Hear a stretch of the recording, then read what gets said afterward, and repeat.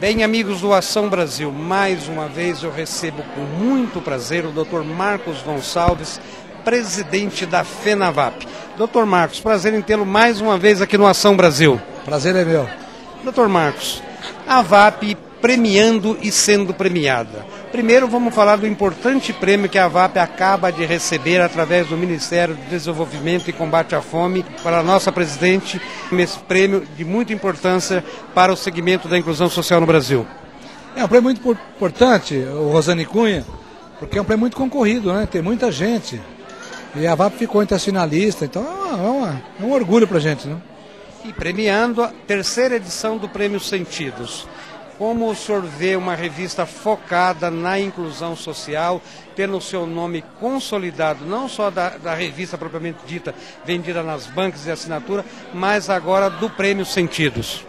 Uma alegria muito grande, né, Clóvis? Porque você tem 27 milhões de pessoas com deficiência que poderiam estar incluídas, muitas delas, produzindo, trabalhando, né? frequentando teatros, frequentando cinemas, e as pessoas estão fora de tudo, né? fora do mundo. Então o prêmio vem mostrar para essas, valorizando essas pessoas, exatamente para outras pessoas que não concorreram ao prêmio e que veem o poder de superação dessas pessoas. Vão se superar também, vão se espelhar e ver que é possível.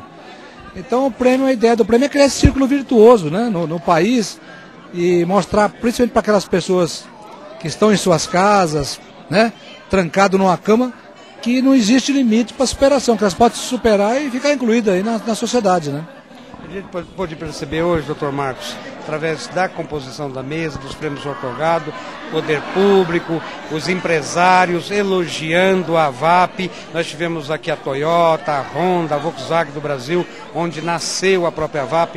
Como o senhor se sente hoje é, com tantos elogios, não só do poder público, tanto a nível municipal, estadual, federal, como os empresários também é, falando do, do, do case da VAP, do know-how a VAP na inclusão social no Brasil? Muito legal, né, Clóvis? Que a gente começou a estudar 40 anos atrás, né?